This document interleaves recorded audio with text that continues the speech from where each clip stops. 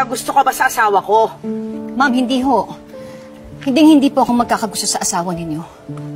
Bakit niyo po ba naisip yan? Bakit hindi? Mayaman ang asawa ko. Guwapo. Matalino.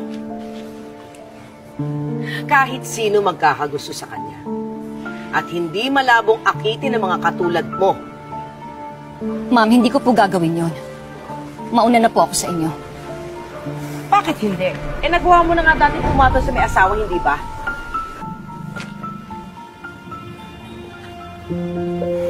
Hindi ko po alam na may asawa yung nakabuntis sa akin noon. Pero nung nalaman ko, lumayo ako sa kanya. Hindi ako ganun klaseng tao. Alam ko ganito lang ako. Alam ko din na mababa ang tingin ninyo sa akin. Pero hindi hindi ko sisirain ang pangalan ko at yung tingin sa akin ng anak ko. Dami mo namang sinabi. It's just a yes or no question. Ma'am, hindi po kayo nagtatanong. Hinuhus